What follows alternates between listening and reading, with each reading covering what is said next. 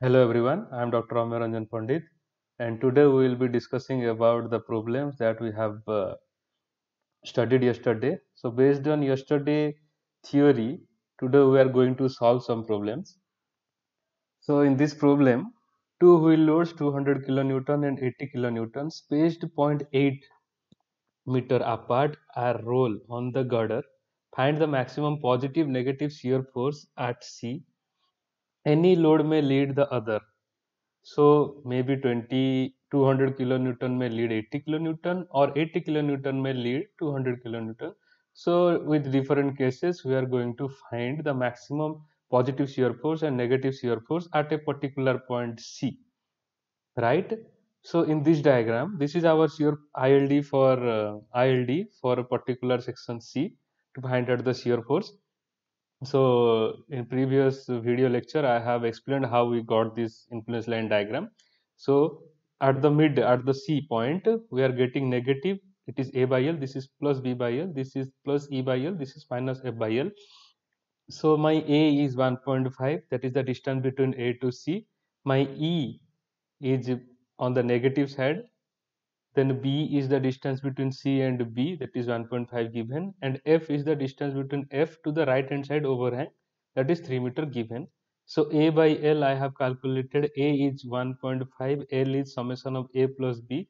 So i got a by l is 0.5 and b by l is 0.5 e by l i have to calculate e is 2 and l is total 3 meters so that is 2 by 3 f by l is equal to 1 right? These are if we will calculate these things it will get the ordinates at the different points of the ILD so shear force at D C due to the different position of load. First case we will, will try to calculate the maximum positive shear force. So case 1 when the 200 kilonewton is at E it means 200 kilonewton will be here and 80 kilonewton is just right side of 2 so 80 will be somewhere here. Right? The arrangement is given here so from the similarity of triangle, in this triangle and in this triangle, we'll get to know 0.66. This is 0.66 A by L we have calculated. It is given here also, sorry, E by L 0.66. So 0.66 divided by y1 is equal to from here to here, this distance. This distance is given 2 meter. So this is 2 divided by 2 minus 0.8 will give you 1.2 so we will get the ordinate y1 that is 0.396 so though it is a point load we just have to multiply the ordinates with the intensity of the load. So 200 into 0.66 plus 80 is the load and the ordinate is 0.396 i am getting 164.6 kilonewton.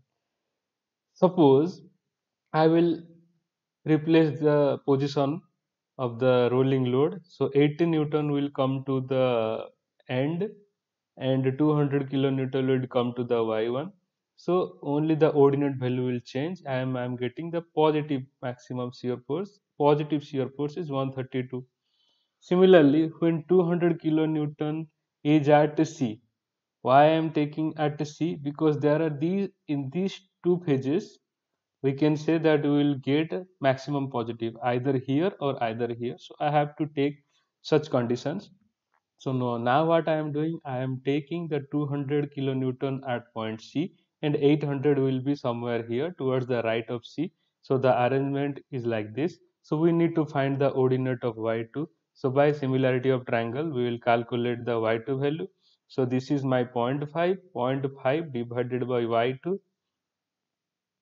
Sorry, 0.5 divided by y2 and this from here C to B is 1.5, this distance is 0.8 so from here to here this distance will be my 0.7 so i will get the ordinate of y2 as 0.233 so due to the there are two point load. We just have to multiply the ordinate with the point load.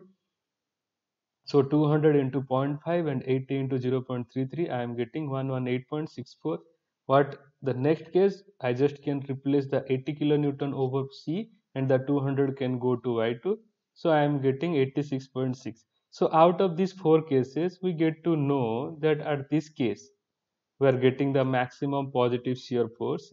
So the arrangement of this will give you the maximum positive shear force at C in a overhang beam. Similarly, we have to calculate the negative shear force so that we have to keep the forces here or here.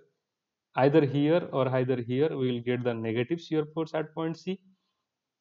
So, case 1 will be 200 kilonewton is at C and 80 is backside of uh, 80 is backside of 200 so from the similarity of triangle this is my a by l is 0.5 so 0.5 divided by y3 from here total distance is 1.5 this is 0.8 meter apart. So from here to here is 0.7 so i got the ordinate of y3 as 0.233 the shear force at c will be 200 into 0.5 plus 80 into 0.33 I am getting minus 118.66 second case what we will do? We will take the 200 to here and 80 to here.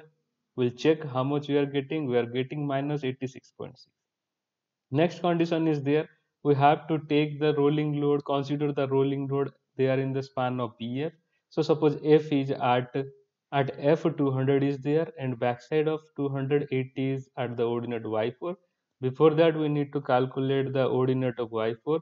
Again from similarity of triangle we can calculate the y4 value. So this is 1. So 1 by y4 is equal to from BF distance is 3 divided by this 3 minus 0.8 will give you 2.22. So we got y4 is equal to 0.33. So I am getting the shear force at C as minus 258.64. Again the next case we can replace their value 80 will go to point F and 200 will go to the y4 so i am getting minus 226 minus 226 kilonewton so the maximum negative shear force we can get at case 3 when 200 kilonewton is over f and on the back side of 0.8 meter 80 kilonewton will be there. Next problem is that a distributed live load of 50 kilonewton may occupy any position either continuously or in patches on the girder A, B, C, D, E as shown in figure. Find the maximum positive and negative bending moment at point C. This question has already been asked in gate 2020. So the arrangement is given like this. Intensity of load is given 50 kilonewton per meter. This can be placed in patches or continuously. So the the bending moment diagram the bending moment diagram for calculating moment at C for the ILD is given like this. We have already developed in the previous video. You can refer that video. So first we have to calculate AB by L. A is 3, B is 2. So here I have assigned what is A, what is B, what is E, what is F. So AB by L we get 1.2. This left side is E, E into B by L. Right side will be our A into F by L. I calculated all the ordinates. So for maximum positive, maximum positive we will get this region is positive. So the ULD, UDL will place over here. So for the triangular area half into base into height into the intensity of load, we are getting the maximum positive moment that is 150 kilonewton per meter. For maximum negative, we have to consider in patches. Some part will be here and some part will be here.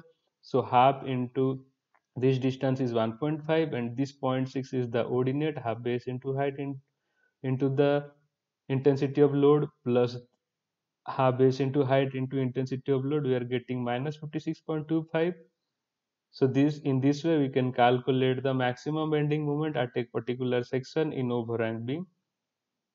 Thank you for watching